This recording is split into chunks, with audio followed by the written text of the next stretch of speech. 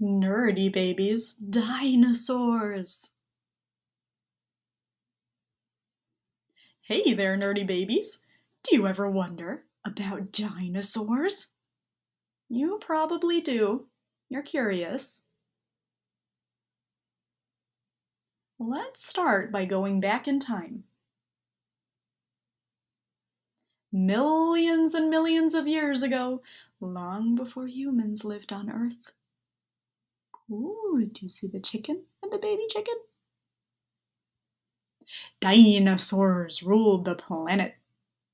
We had Spinosaurus, Parasaurolophus, Muttaburrasaurus, and Giraffatitan.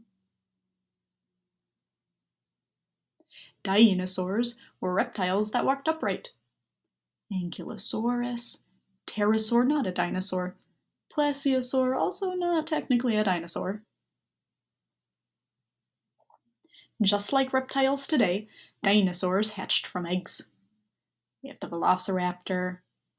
Baby says, This egg is big! A hatchling!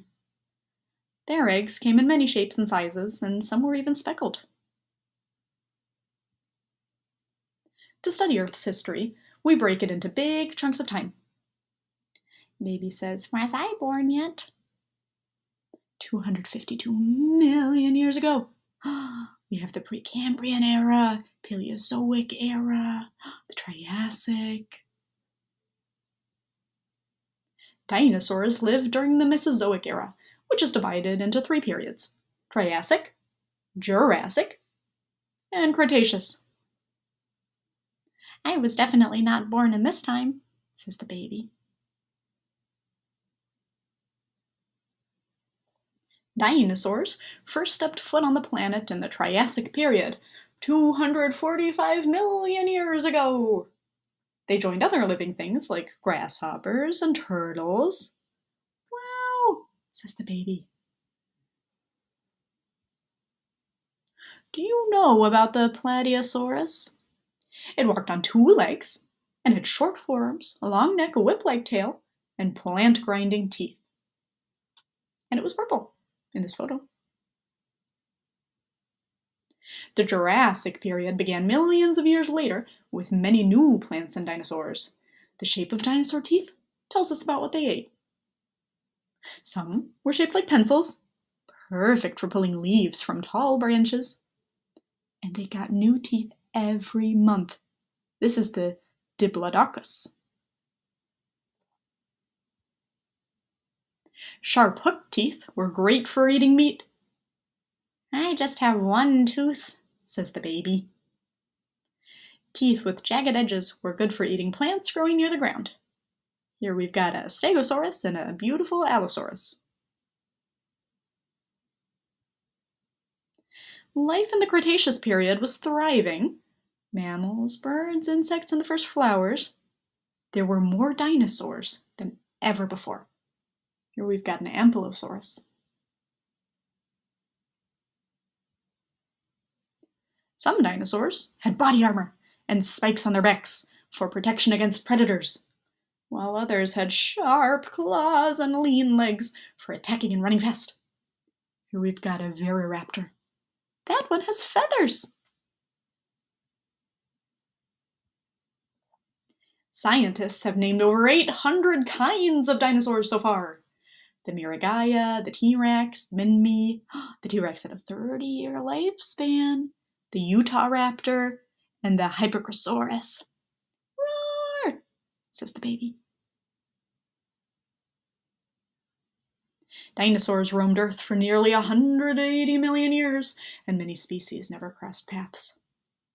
Here's the Archaeopteryx, the Triceratops, the Argentinosaurus, which was as heavy as 17 African elephants, the Troodon, the Parksosaurus.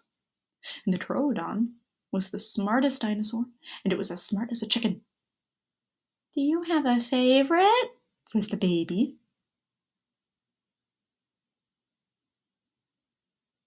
Then an asteroid crashed into the Earth and caused a lot of big changes. There's the asteroid. Dinosaurs and most living things were wiped out, gone, extinct. Oh no.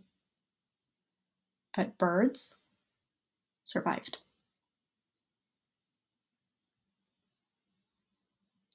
Did you know birds are actually avian dinosaurs, sharing ancient relatives with the T Rex?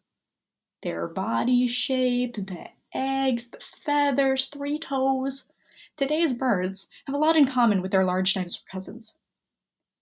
They have stones in their stomach to digest food. I'm not allowed to eat rocks, says the baby. Get digging. Everything we know about the Mesozoic era, we learn from studying fossils. Fossils are preserved bones, feathers, eggs, footprints, and even poop that tell us the story of dinosaurs.